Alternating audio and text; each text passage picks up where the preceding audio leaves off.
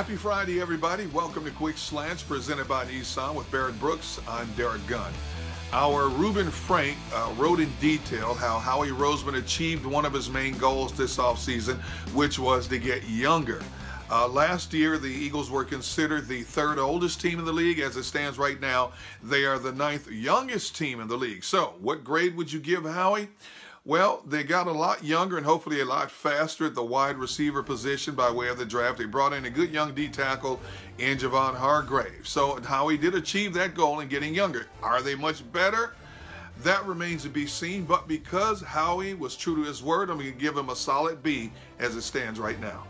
You know what? I read Reuben Frank's article and I love what he had to say. I mean, you look at it, look at how he did. He went out there and got younger and he got faster. And I was truly a fan of that.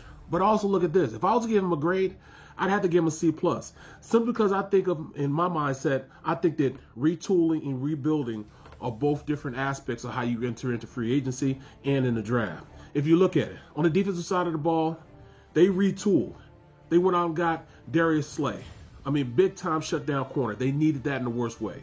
They got Javon Hargrave, a really good one technique that can press the pocket. He can make some things happen. Will Parks is a guy that you need to be talking about because he's going to play a lot in this th- uh, big three system that Schwartz like to run with Big Nickel. Um, you look at also Robey Coleman. He's a guy that's very good in the slot. They have some really key guys and come in and play right now. But then, you know, that's retooling. But you look at the offensive side of the ball. There's only really one or two guys that are really going to make an instant impact. Our, of course, Marquise Goodwin, the speed we needed, veteran leadership. He's going to be a guy that's going to contribute. We have to have Jalen Reagor. He's going to have to re, uh, go out and, and, and, produce. You know, he's the first round pick.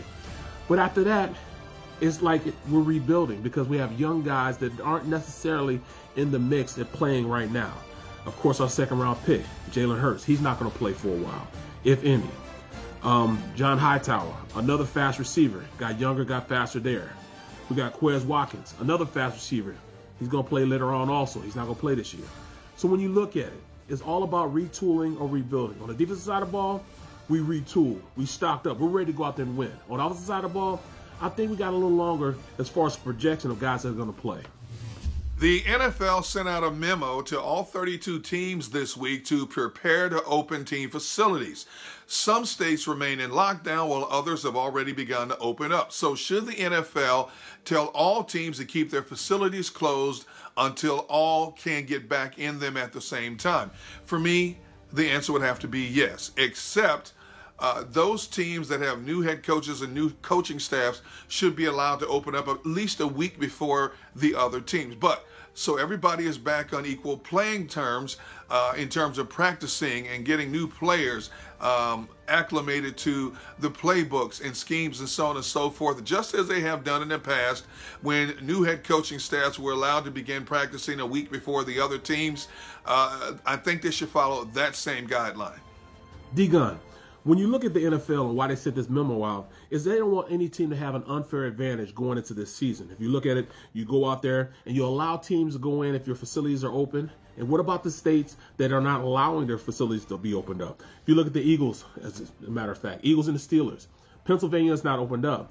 So now those players can get in and get some build some camaraderie with players that you know they haven't met before getting in there with the coaching staff, learning what the coaches are, learning who they are, what is being asked of them, getting in the playbook around them, and really getting a heads up on the teams that can't do it. I mean, that's an unfair advantage.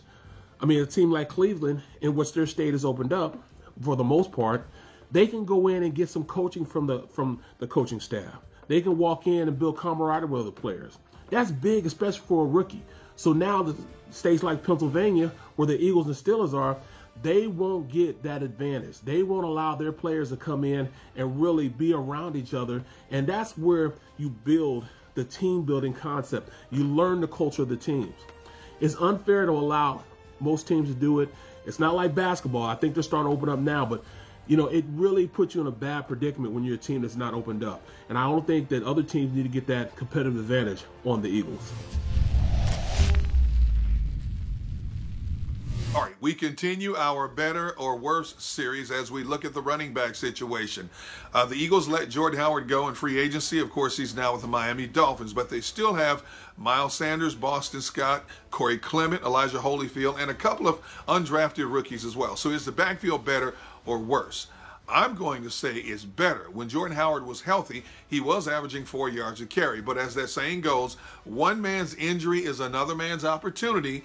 When Howard went down, Miles Sanders stepped up. He averaged 4.6 yards per carry and over 10 yards per reception. And then Boston Scott, who was a mere afterthought for a long time, he stepped up into the number two role. He averaged four yards a carry and had five rushing touchdowns. And we all know what Corey Clement can do when he is healthy.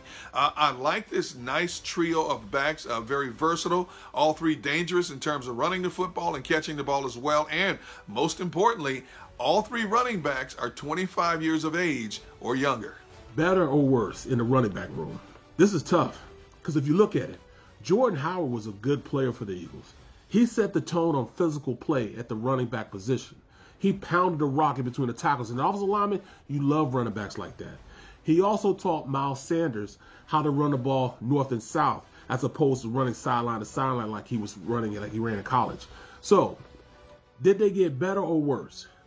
At this point, I, I, I want to lean towards better simply because it's another year in the Miles Sanders um, belt. He's maturing in this offense. He got better and better as the season progressed. He became more of a of a threat in the passing game.